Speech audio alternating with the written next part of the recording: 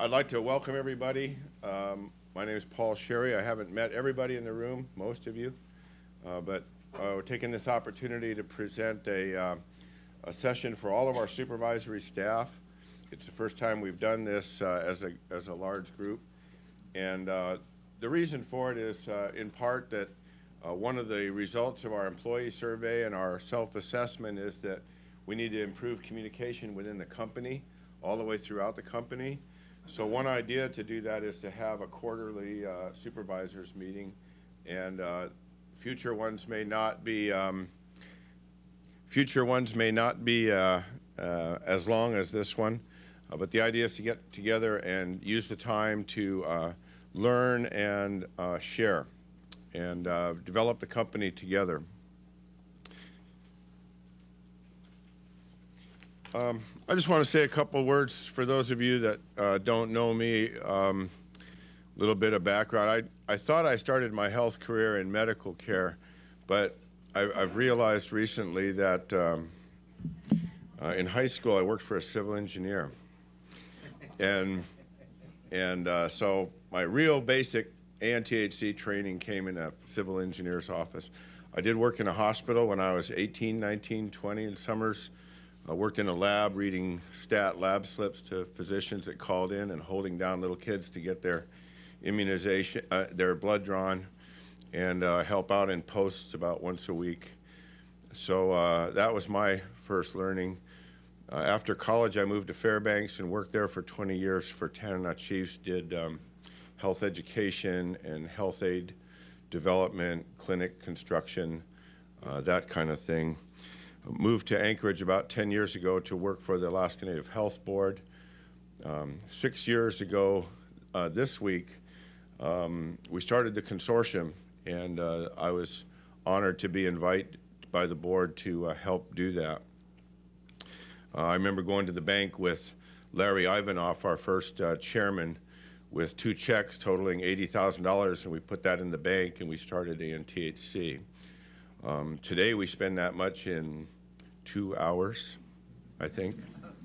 So um, it's been a, a, a lot of fun working with all of you to develop the company, and I want to take this opportunity to talk to you about where we're at in developing the company, our performance excellence journey, our our planning um, and resource allocation process, about which we uh, grow the programs and, and generate the resources.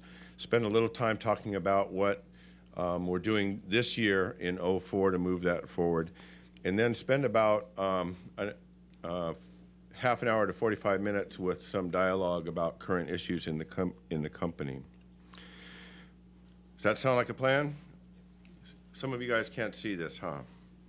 Will it, it will cause a disaster if I move here, so.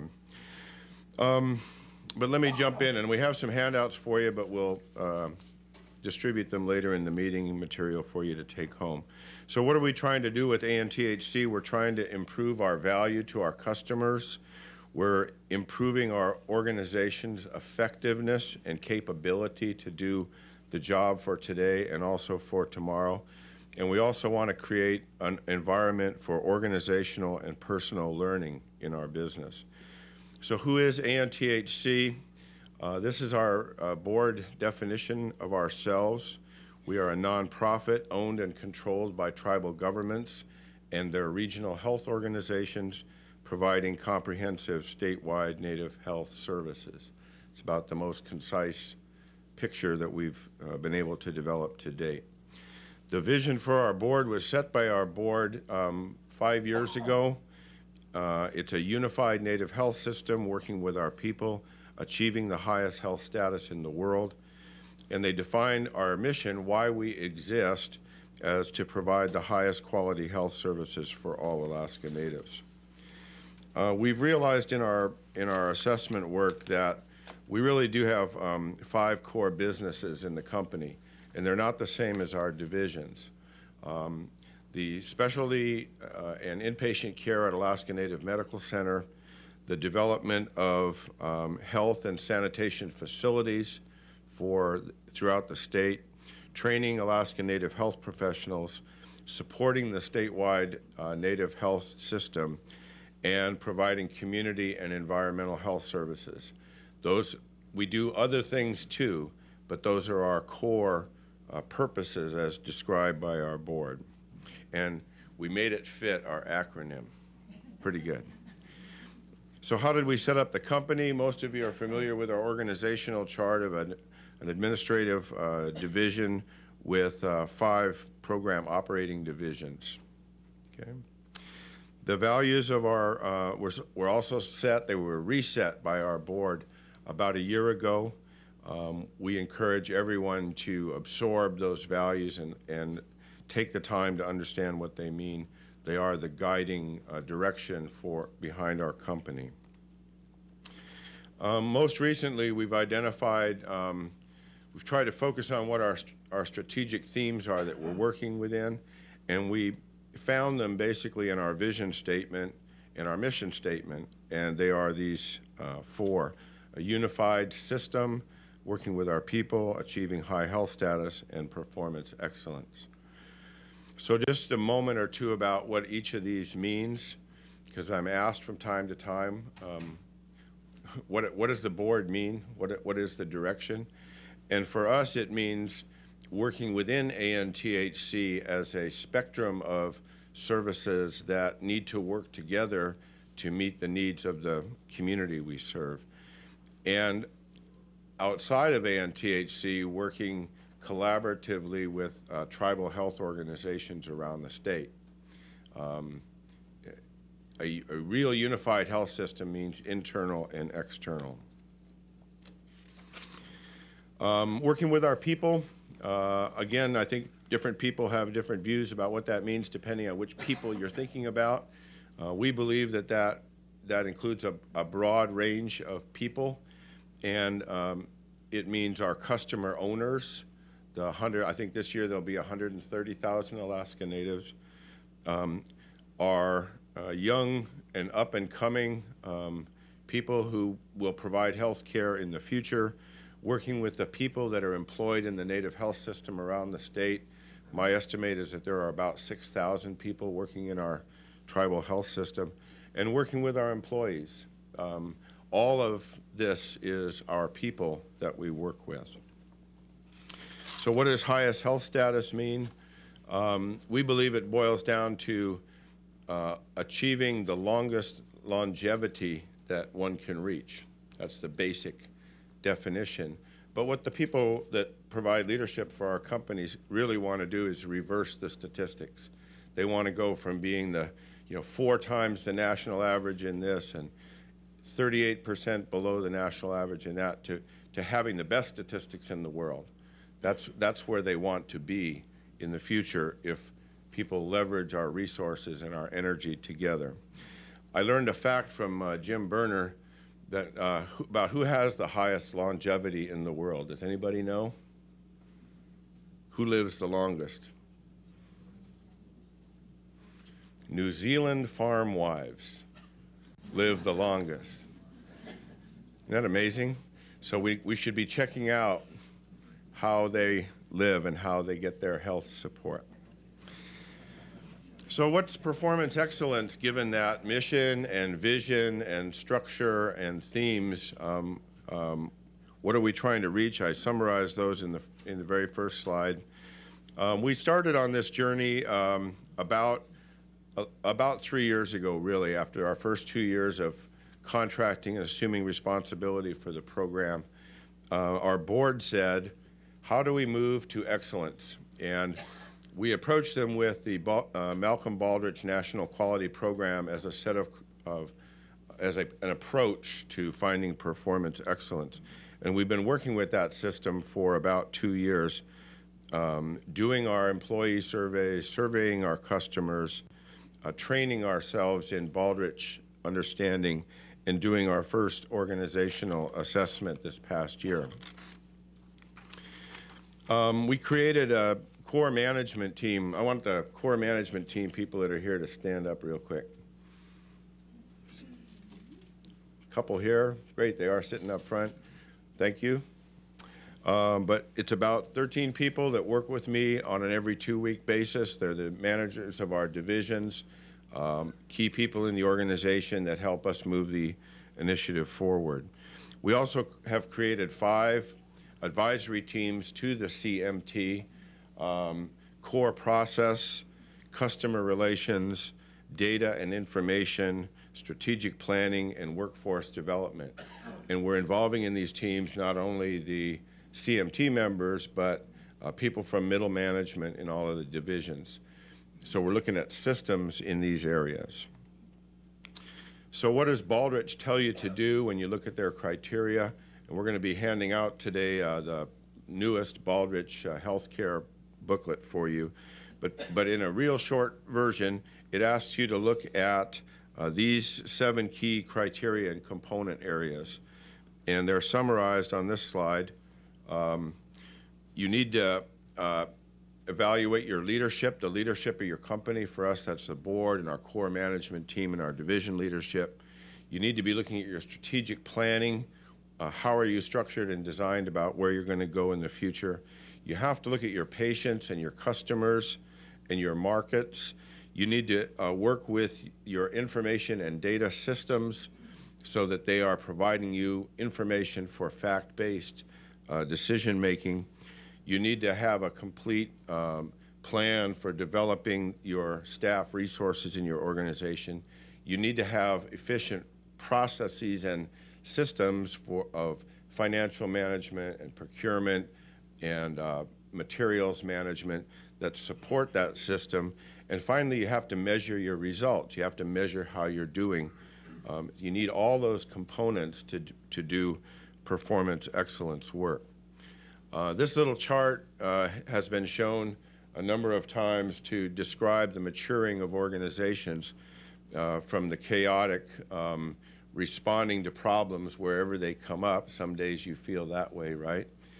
Uh, towards a more um, repeatable, uh, coordinated uh, system approach to improving the program if you really step forward, all of the pieces of your organization will be aligned in the same direction.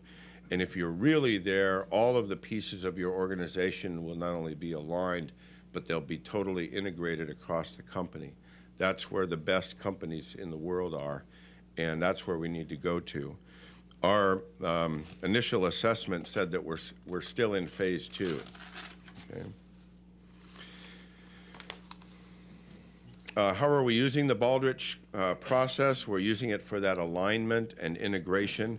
What the people do over in environmental health on Bragaw Street and what they do in, in ANMC um, are different work in different places, but they all are towards the same end. How do we assure that, that the work that we do is aligned and integrated? How do we measure our improvements? Um, what do we have to grow and train our staff? Um, how are we measuring ourselves against the very best? It's one thing to measure yourself against a national average. It's another thing to say, how do the top 5% of healthcare and service organizations in America perform, and how are we doing compared to them? Um, that's all of those are required. So why are we doing this self-assessment? Um, we're new. Uh, we have a very bold vision, and we need to determine where we are at in our performance, speed up our learning, uh, learn from other high performance organizations, and benchmark ourselves against the best in the world. So in the past year, our leadership, meaning the CMT and the board and our advisory teams, went through all the Baldrige criteria. Uh, we brought in outside resource people to evaluate the responses. Um, we had them help identify our strengths and our improvement opportunities, and we set up a plan to um, initiate and grow the performance improvement. So these are what our evaluators said were our strengths. They're reflecting our views back to them. Uh, our, our strong vision and values are the fact that we are owned by our customers, our culture and our improving uh, leadership system, our work with measurement scorecards, the improvements in our processes that we have made, Um, some of our result indicators are very good, and they say we have a good reputation around Alaska and, and nationally uh, that we can build on. So all that's good stuff. Um, uh, OFES is our new word. Everybody say it, OFES. OFES. And you can use OFES as opportunities for improvement or opportunities for excellence. Um, our newest consultants say we should say opportunities for excellence. Um, this is just, there are two different ways to say it. Uh, but these are the areas that they say we need to uh, improve in, and I'll spend a minute on each one. Um, having clarity among the board and among the management about what the vital few are each year, what must be done, what has to happen, um, what is critical to invest in, and prioritize those clearly and get that information uh, rolled out to every employee within the company uh, is our, our need to do that. We need to help each employee understand exactly how what I do relates to a part of the strategic plan that helps reach our uh, vision. Um, performance management, we've been building a lot of scorecards and indicators. Uh, we look at them every month here at ANMC. Uh, we've, we've been building them in all of our divisions. We think we're way along, further along the line from where we started, but we know that we, we have lots of um, measurements that we do not yet have refined to the degree that we all need them to manage. And then we really need to use that data. It's one thing to have file folders and, and uh, be in the gigabyte club for having too many, um, uh, too much data, okay, if you don't use it to improve your program. In our workforce, um, we need to develop knowledge and skills in the workforce that align with and support where the organization is going. If we're not training and teaching all of our folks to get have the skills to get the work done, um, we're missing a key part of the action. And connecting our performance management um, clearly to align our employees with our work. In process management, uh, this is where we've put a lot of energy in the past couple of years. Our systems changes and improvements, our new software packages, uh, uh, bless them all. Uh, but, but mapping out our processes so that it's clear for everyone how you get something done in the company, um, how you get an action that you need done, um, and that it's re- reliable and it's efficient uh, is, is our, remains one of our biggest OFEs. Um, alignment and integration, um, uh, being connected all the way from the top to the bottom, from uh, upper level management throughout the programs in our planning and operations, um, aligning our core business with the goals of the organization. So, where are we at right now? Um, we've asked our advisory teams to look at all these OFI areas that have been identified uh, and, and develop strategies for addressing them. Um, we're take, the next step is to kind of move this whole thing a step further into the organization. We're asking all of our um, uh, service lines, our, our administrative units, to um, do Baldrige assessment within your um, division, and we're training people this year uh, all the way th- out throughout the organization to try to get that done. And we want to do this um, annually. It's worth it. So we're still at the beginning of our performance journey. This is something that's long term. Um, uh, no matter where you are, you can always move a step um, ahead. So we're going to be talking to you a lot about this in the coming year. Um, we're doing pretty good on time, so I'll pause for a moment there and say that uh, uh, we want you folks to uh, absorb the Baldrige concept and apply it in your work and help us apply it within the company. Um, I'll take just a minute and see if, before I move into part two, if anybody's got a burning question or observation about the performance excellence work. I want to take a couple of minutes to talk about our PRAP. Uh, okay. I'm going to ask Mac to also uh, hand around some index cards. get those out to everybody. Just hang on to them. Uh, the PRAP, I don't know where we came up with that PRAP, but it, planning and resource allocation process is the way that annually we um, determine where we're going and, and allocate our resources for it for the subsequent year. I have a handout for you to take home, but basically it's a, it's a cyclical process where you, in the middle of the winter, we determine uh, how we're going to structure our planning for the coming year. In the fall, we do our um, our external assessment, our readiness uh, assessment. In February and the spring months, uh, we do our actual planning work for the coming fiscal year. And in September and October, as our board approves our budget, um, we get set for deploying it. Um, all of you should need to know that the consortium as a whole uh, works with this process, and we do it looking at all of our divisions um, in, a, in an integrated way. Um, I want to do a quick summary of uh, what the PRAP from last year uh, resulted in as uh, initiatives and priorities for this uh, current fiscal year. Uh, they are aligned with the goals that are outlined in the uh, strategic plan. Um, these will also be in your uh, final handout package. We're trying to finish signatures on a um, Alaska Tribal Health System Memorandum of Understanding. Uh, for years, the tribes have um, created uh, regionalized and localized health programs and the consortium uh, but they've never signed an agreement between themselves that they will operate as a system. They have a common compact with the Indian Health Service, but not a compact with each other. And so this spring, uh, we were shooting for March 17th. All of the tribal health organizations in the state, or many of them, most of them we hope, will sign off on an agreement that we, that's an MOU that describes our common understandings and how we'll work as a system. Uh, this is a part of strengthening our network objective. We're also doing a lot of planning this year.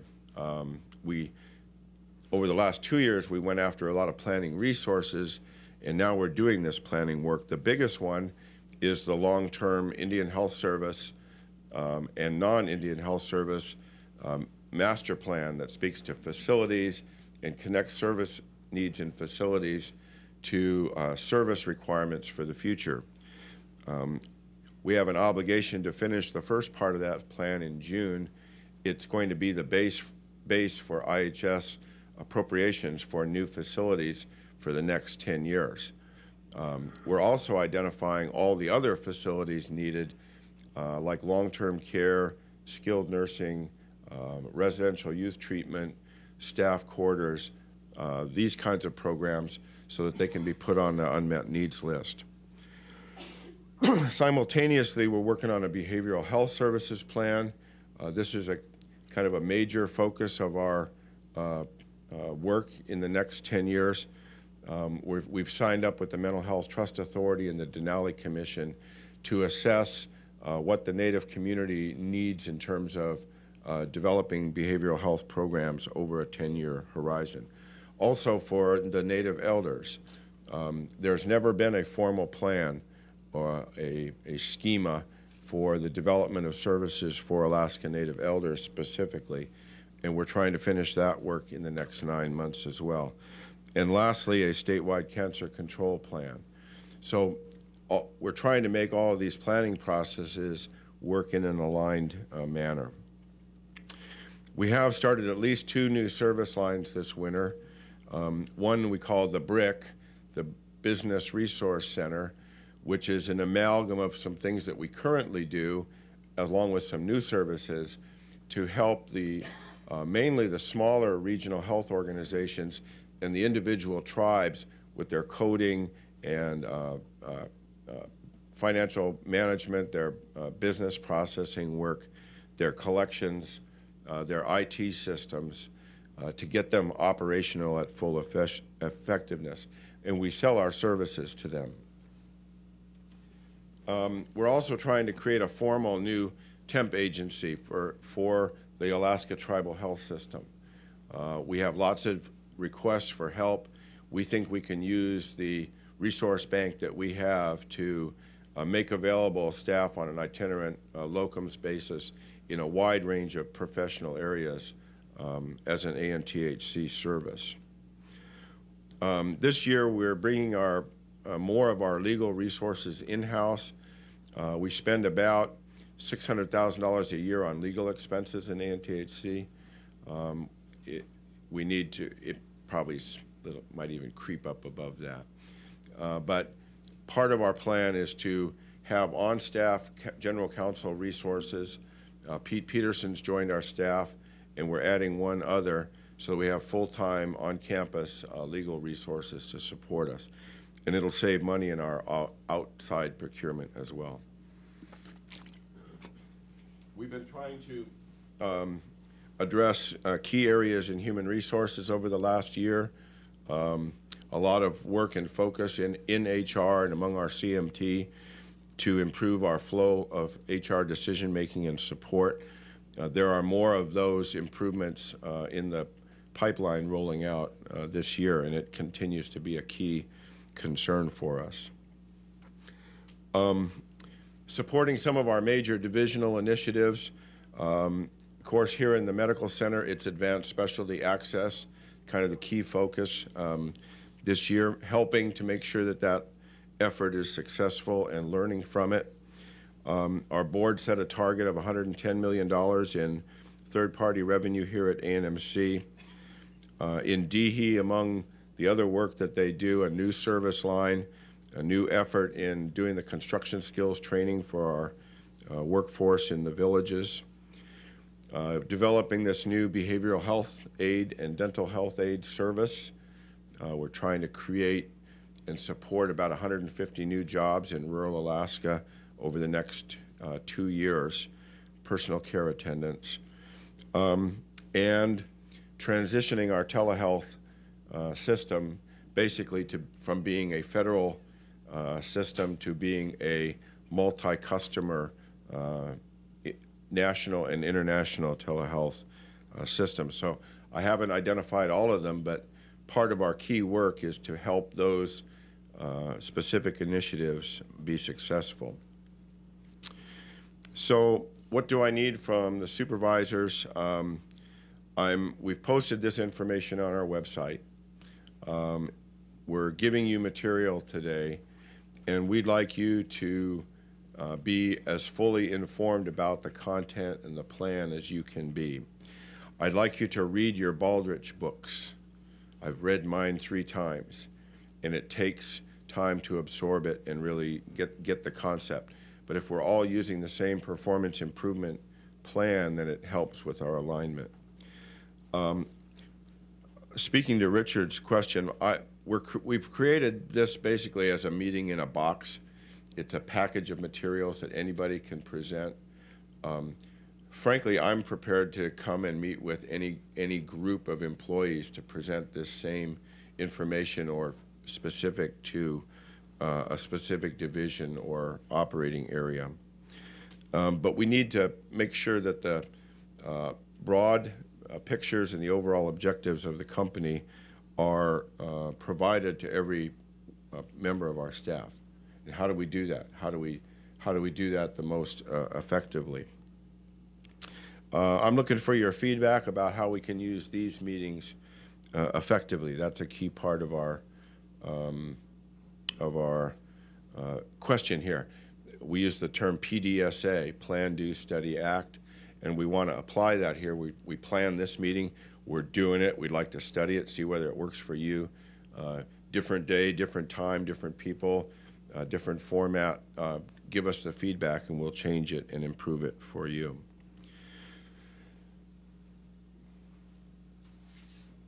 So we're doing pretty good on time. Uh, I have a quick handout about this next section. Who read uh, Funny Papers yesterday? Who read Dilbert yesterday? Here's Dilbert from yesterday.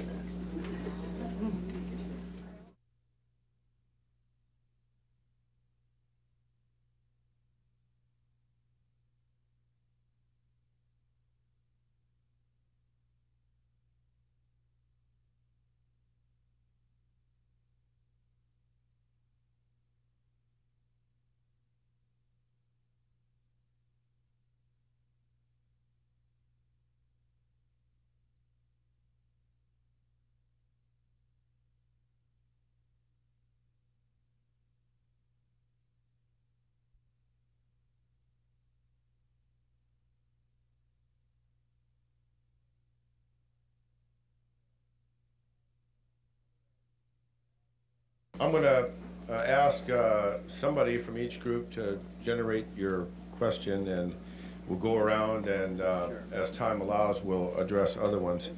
I wanted to take a minute and address um, some of the ones that came to me by email ahead of the meeting, because I did ask for them, and I think people that sent them to me should be first in line. Um, And I, there's, there's a few, and I'd like to comment on them briefly. Um, One was a question on our plans for expansion. And, um, and I, I understood that meant uh, to, to do with facilities. A part of this statewide facility master planning that we're doing also means revisiting our uh, ANMC master plan and our campus master plan. And we're engaging with NBBJ over the next uh, two or three months to uh, complete that review. Uh, I think the main pieces of that expansion uh, plan are still uh, viable and will continue to be there. Um, You know, they basically involve uh, creating more space within the hospital by moving some of the programs out of here. Um, On the drawing board are such things as an ER expansion, um, a reconfiguration of the dining uh, and food service area. Um, We need to build another 50 beds of the Quyana House, either connected to or nearby. Um, There's some other interior, uh, internal remodels that need to be done. Um, uh, Don Kashevaroff is in DC this week, and one of the things we're pushing for is our 300 uh, space parking garage behind the hospital that we hope to get from Don uh, Young.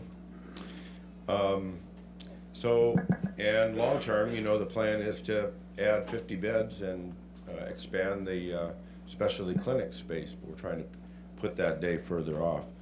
Uh, More broadly on the campus, um, you know, we're working on a new nursing school, health careers facility with the university over on the lot in this corner. Uh, We're trying to finish building our building this year uh, and and uh, reconfigure um, space with that resource. Uh, The board would still like us to develop a wellness uh, fitness center on the campus. Um, So there's a lot in the long-term plan, and the, the issue is which, which comes first. So we'll be reviewing that again this spring. Another person uh, asked for an update on our collections at ANMC, and I'd like to ask Susan to comment just for a minute about that one for the group. Our target for this year on third party is 110 million, so. Thank you, Paul. Um, As Paul mentioned, the target is hundred and ten million dollars this year. We collected hundred and three million dollars uh, last year, so we think hundred and ten is achievable. Um, After the first quarter, we're behind on our target by one point four million dollars. And there's some very specific reasons why we're behind.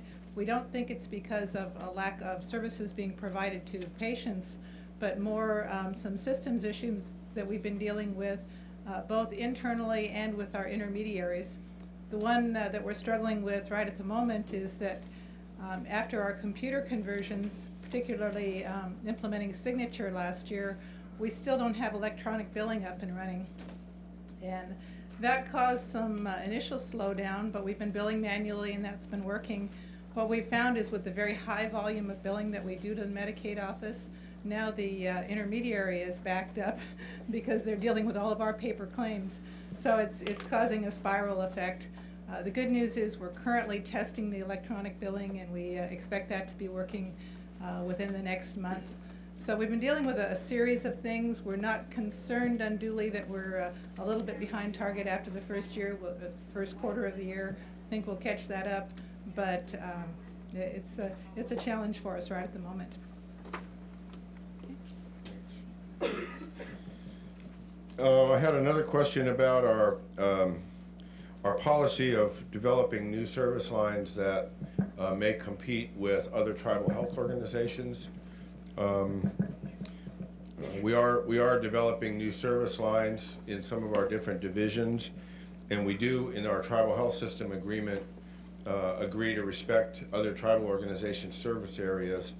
And as a statewide provider, um, uh, we're providing service in multiple areas, and we need to coordinate with the regional partners what we do and what they do. Um, Basically, our board has a, um, has a non-compete policy. Uh, It says that if a local tribal organization wants to do something that we're proposing to get into, um, uh, they have, they have first dibs on it, basically. And the way we deal with that administratively is that uh, as- as people come up with new service line proposals, um, as they get specific, uh, I send them all to all the tribal health organizations with a formal kind of, we intend to apply or develop. And if you have a concern about that or a coordinating question, or you plan to apply, please advise me. And basically, if we get feedback from them saying they do, then we try to sort through the potential issues of um, duplication or coordination. If it doesn't work out, we end up dropping that initiative, basically. Uh, But we've been able to resolve most of them. Uh, But that policy is in place since the year 2000, and we, uh, we use it actively. Um, I had another uh, question about customer service. Um, Basically, you know, what are we doing to, im- uh, to improve customer service? I'll read the quote. It's been brought to my attention by a staff member here that gets services on campus that the front-end staff do not greet our client very well. She says at her appointment, the first thing that she was asked was, what is your medical record number, instead of, hi, what can I do for you? So it's that whole issue of changing our frontline customer service. Uh, I know that we've put a lot of energy into that over the past year in terms of um, uh, working with SCF and uh, ensuring that all of our frontline people have the, have the positive customer service uh, uh, words and approaches. Uh, Clearly, that doesn't uh, roll out all the time and in all places. Um, Another one was um, the access to the cafeteria over here through this door being too narrow. People in, if, with wheelchairs try to enter or exit creates congestion. Uh, we acknowledge that, and um, it, to me, it's part of the dining room reconfiguration work that, that needs to be done. Um, the last one I had was about our indirect rate. Um, you know, we've, we, we generated a formal indirect cost agreement here, um, within the past twenty-four months. And the, the whole purpose of doing it is to simplify, um, grants management in a, in a lot of ways. It's a way to identify a pool that identifies what the uh, administrative costs for the company are and spread them fairly across the whole company. Um, uh, We developed that agreement with uh, HHS Region 10. Uh, One of the reasons we do it is to demonstrate what our administrative cost really is, and the Indian Health Service is supposed to fund that cost above and beyond the program dollar. Um, uh, So far, they haven't. Uh, They've funded all the tribes around the country, but only up to a percentage of their full rates. Uh, In the meantime, it allows us to demonstrate what that cost is. Um, Our, I believe that our indirect rate of um, about thirty percent for the hospital and uh, nine point nine percent for non-hospital services is uh, competitive with any of the other um, health service organizations in the state or other similar organizations. Um, I think if more indirect cost information and training is needed in the company, we need to uh, plan that out and provide training and, and information about it. Um, I've tried to address the ones I got by email. If I didn't, to the satisfaction of the people that asked them, I'd be glad to revisit them. Um, But I would like to get to the questions of the group here. We ready to start? Okay? Who's first? Somebody over here. Rick? Um, uh, one comment before the question. Comment was that on a good day, we're a two, using the, uh, the- the model, and on a bad day, we're a one.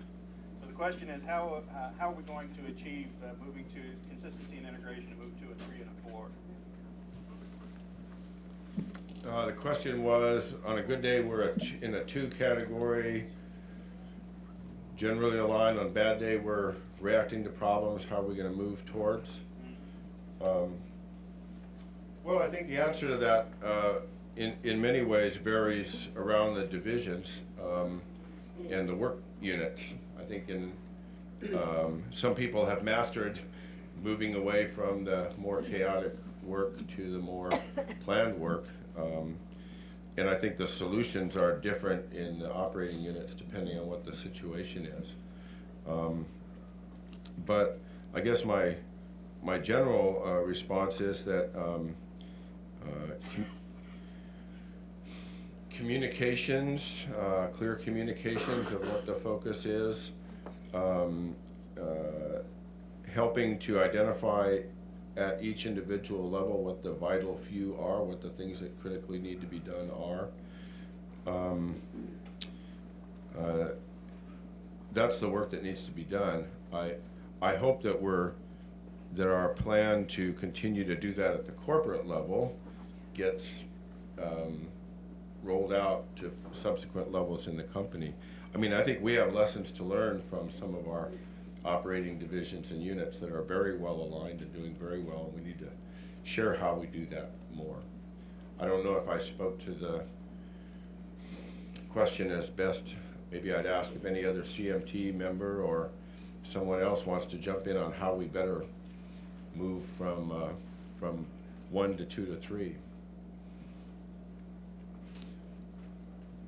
I gave it my best shot. Okay? Okay. Just a follow-up question. Uh, How are we going to Yep. increase communication between divisions? How are we going to increase communication between divisions? Okay. Um, well, we've, we've relied on a couple tools for that. I mean, the reason we produce an annual report is to provide information about our services and our, um, our progress made. And, uh, that's a tool that we can use for education and information about what each other's doing. Uh, we created the Campus Connector to, to provide information between divisions. Sometimes it does well for that, and other times it may not. Um, we rely on the CMT to, to be a funnel of information into ANTHC and uh, around ANTHC.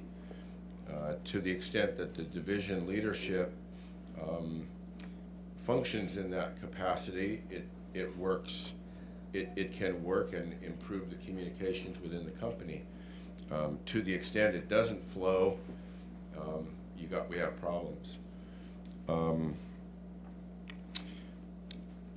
uh, I am open for more uh, ideas from anybody in the company, um, and in this group in particular, about means, methods, tools that we can use to improve um, cross-divisional communication. I think with um, 1,700 people doing very varied work, uh, it's not always, uh, you don't have the time in your day, uh, and you don't always have the interest to go find out what somebody across the street's doing. Um, But the more people are knowledgeable about what's going on in a, in a related division and work with them, the better product we're gonna have, better communication we're gonna have. Um, Uh, We've created some uh, all-staff meetings in DHE uh, in the past year. I think those have been valuable in creating communications across operating units in DHE. Um, There are different strategies that different groups have developed to provide within division and between communications, uh, division communications. I think you need to use any and all of them, and if people have ideas about ways to do that, uh, I'm open for it. Okay. I want to take a question from a different group, and we'll get around, and then we'll recycle.